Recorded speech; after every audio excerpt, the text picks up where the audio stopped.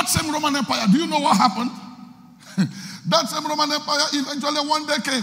The gospel was spreading. That Roman Empire began to persecute Christians, persecute apostles, persecute prophets. They began to kill them, annihilate them. But somewhere along the line, they started getting converted. Even an emperor became born. So without carrying sword or gun or the Roman Empire capitulated and submitted to the influence of the kingdom of God. What you carry is more powerful than guns, more powerful than bombs, more powerful than dynamite. The Holy Ghost on the inside of you is greater than anything outside of you.